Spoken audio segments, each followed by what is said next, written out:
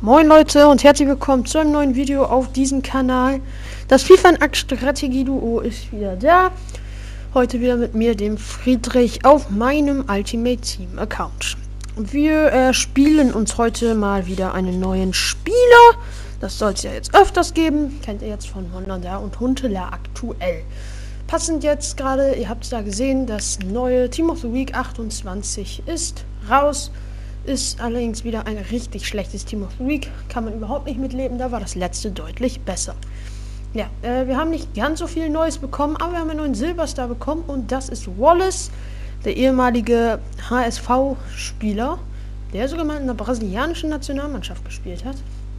Und äh, ja, was daran neu ist, also der ist noch sechs Tage und sieben Stunden verbleiben, den will ich mir heute erspielen. Das sollte nicht allzu lange dauern.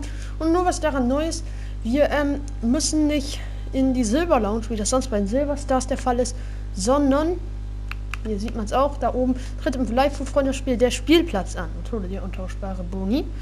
Ähm, ja, und hier seht ihr schon, wir müssen im Spielplatz allerdings das gleiche machen, nämlich drei Spiele gewinnen, acht Tore schießen und sechs Vorlagen machen. Und äh, hier sind wir da auch in der Silber Lounge. War die Spielerqualität genau Silber? Es ist der Spielplatz praktisch gleich. Wir dürfen maximal Silber haben. Das heißt, in der Silber Lounge nur Silberspieler. Im Spielplatz Silberspieler und Bronzespieler. Allerdings denke ich mal, dass keiner so blöd ist und Bronzespieler nimmt. Das heißt, wir werden hier auch mit einem kompletten Silberteam an den Start gehen. Das werde ich euch äh, gleich auch zeigen, was das dann halt für ein Team ist. Ähm, ja, hier bekommen wir dann auch noch so ein bisschen EP für. Das ist dann nochmal die genauere Karte von Wallace und die sieht schon ziemlich gut aus. Also auf der linken Seite die Temposchuss und Passwerte sind jetzt nicht im überragenden Bereich, aber auch alle über 70, sogar über 71. Aber die Werte auf der rechten Seite, Dribbling, Defense und Physis, die sind alle top. Und äh, ja, Defense und Physis ist gut. Er ist ZDM, das heißt ein der perfekte Mann vor der Abwehrkette und dribbeln kann er auch noch. Das heißt, er hat auch noch den Zug nach vorne, wobei das Tempo, wobei das Tempo ja auch noch der beste Wert auf der linken Seite ist. Ist also schon ziemlich gut. Ja, wir haben parallel ja auch noch die Mega-Party. Da bin ich mir noch nicht sicher, ob ich die wirklich ernst nehme. Aber ich denke mal, dass wir da ein paar Sachen sowieso separat machen können. Aber ich weiß nicht, ob ich die wirklich machen will. Ihr seht den Chudure, den habe ich nicht gemacht. Ja, und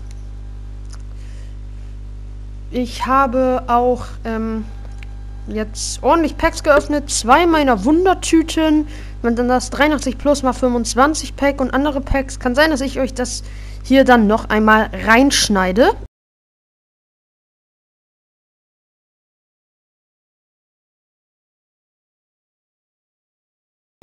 Ansonsten geht es jetzt aber in die Freundschaftsspiele auch rein. Wir spielen, wie gesagt, im Live-Freundschaftsspiel der Spielplatz und ich habe mir natürlich auch schon ein Team dafür aufgebaut. Ihr seht schon, das hat nur 79 Chemie, ist dafür jetzt also nicht jetzt nicht das beste Team, sagen wir es mal so, um es vorsichtig auszudrücken. Ähm, ja, das Team sieht so aus. Wir haben einen Fabricio im Tor, rechter Verteidigung Phil Bardsley, rechter IV Adariboyo, LIV Bottegin, linksverteidiger Verteidiger der Sambastar Paulo Ottavio, mit den Summerstars konnte ich hier ja ganz gut gehen. RM Jahan Baksh Moments, den habe ich mir auch erspielt. RZM Junior Urso, ein paar habe ich mir da gerade noch für gekauft. Er hier zum Beispiel. LZM Timothy Ware auch erspielt, nur kriegt leider nicht seinen Plus und wird es auch, ich glaube, es ist abgelaufen. Er kann jetzt leider nicht mehr hochgehen. Und äh, links Mittelfeld den nächsten Sambastar, Dalbert, der spielt auch in der französischen Liga, deswegen linkt er sich noch mit Ware. Rechter Stürmer Torre Grosser Silber Team of the Week, den habe ich mir auch erspielt. Und linker Stürmer dementsprechend der letzte Samba-Star Marcos André. Auf der Bank haben wir noch einen Waman Gituka und auch den Moments McGee, den ich mir auch erspielt habe. Ja, und Connolly ist, äh, den, dem habe ich äh, mir auch Nevish erspielt und der ist einfach so eine Legende. Ich dachte mir, den nehmen wir mal mit auf die Bank. Und notfalls habe ich auch noch diesen Martinus, der hat 84 Tempo, kann aber also auch nicht sehr schlecht sein.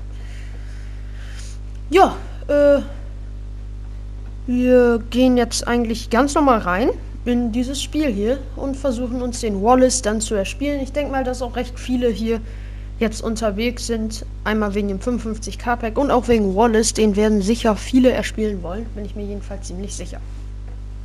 So, und jetzt haben wir hier unseren ersten Gegner vor uns. Der sieht auch nicht allzu stark aus. Da sind auch richtig viele Out of Positioning. Keine Spezialkarte. Ich denke mal, er hat 20 Chemie.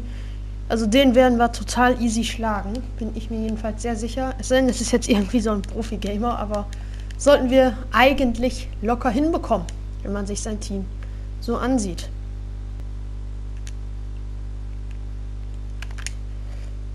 Ja, und das ist 1 zu 0. Timothy Ware hat es gemacht. Schön. Tore Grosser. Spielt da nochmal rüber. Jetzt aber, jetzt steht 2-0. Geht doch. Sehr schön gemacht. Das war Markus Andre. Jawohl. So soll das Ganze doch sein. Rage Quit, alles klar. Der erste Sieg ist eingefangen. Das passiert ganz oft, wenn man 2-0 führt hier äh, in diesem Freundschaftsspielmodus. Es geht. Also kann ich euch auch so sagen: ein von drei Siegen, zwei von acht Toren und äh, ja, das waren, meine ich, auch zwei äh, Vorlagen. Bin ich mir jedenfalls ziemlich sicher. Alles klar, ich will da gar nicht lange drum rumreden. Wir gehen einfach direkt ins nächste Spiel hinein. So, und jetzt sehen wir gleich die gegnerische Mannschaft. Und die ist wieder nicht gut. Keine einzige Spezialkarte.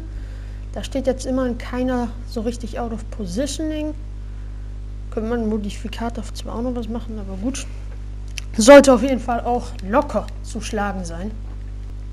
Oh Gott, warum hat er so viel Platz auf einmal? Hä? Warum hatte der auf einmal so viel Platz da hinten?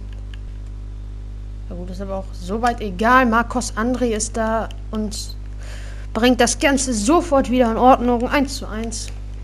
Schön gespielt. Tor Grosser, Schuss 2-1. Jawohl.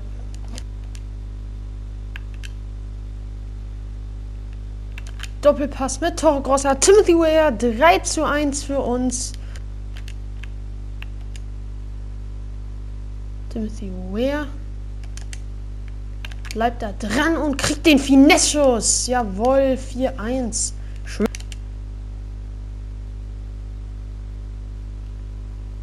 Marcos André. Jawohl, 6-1. Dalbert. Hä, der steht ja längst nicht auf der Linie, der Typ da hinten. Kann Dalbert also ruhig mal schießen. Er steht ja längst nicht auf der Linie. Er läuft auch weg und Dalbert trifft. Freistoßtor 7 zu 1.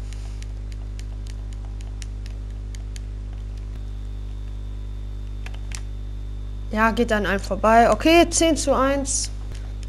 11 zu 1. Okay, 11 1 der Endstand. Klingt komisch. Also da habe ich auch, das habe ich auch noch nie gehabt, dass da noch keiner gequittet hat.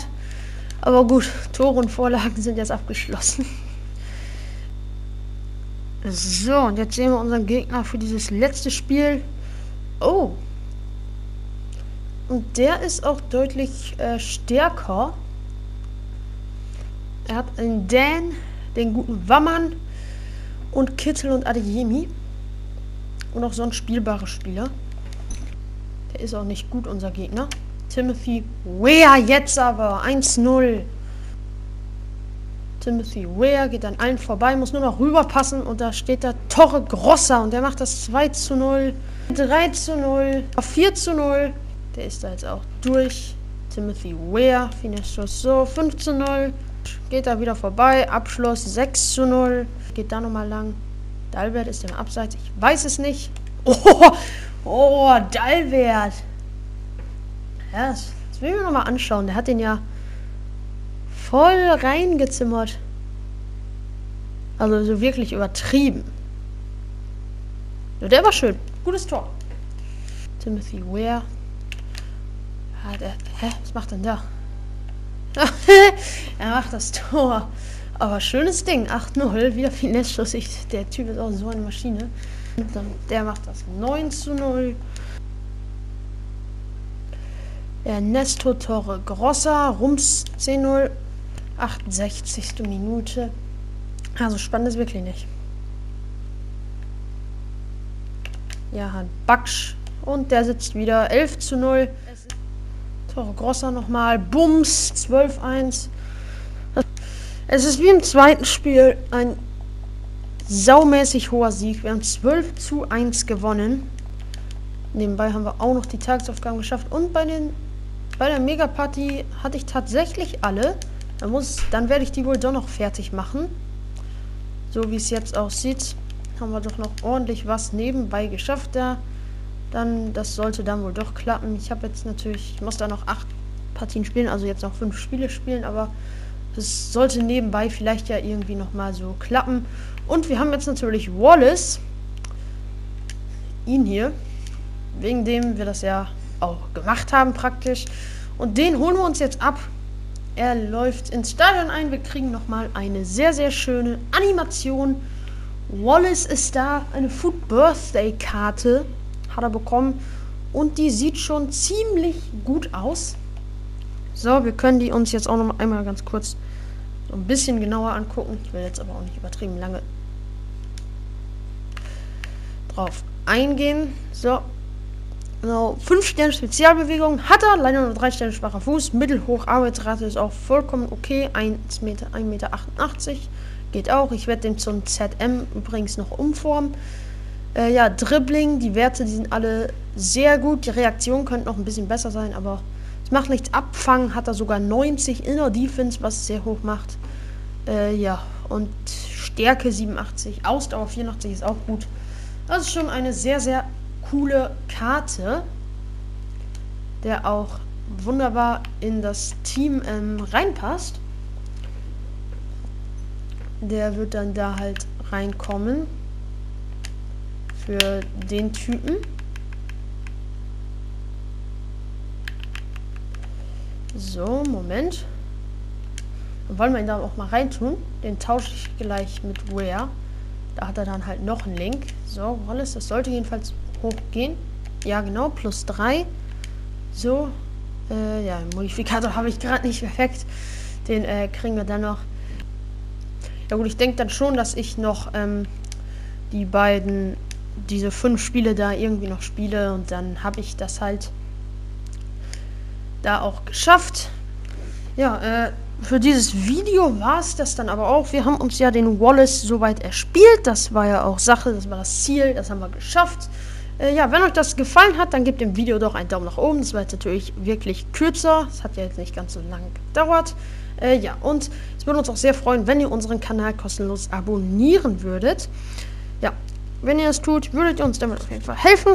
Wir würden uns also schon mal danke im Voraus. Und äh, ja, euch wünsche ich dann noch einen schönen Tag und noch schöne Ferien. Und damit ciao, bis zum nächsten Mal.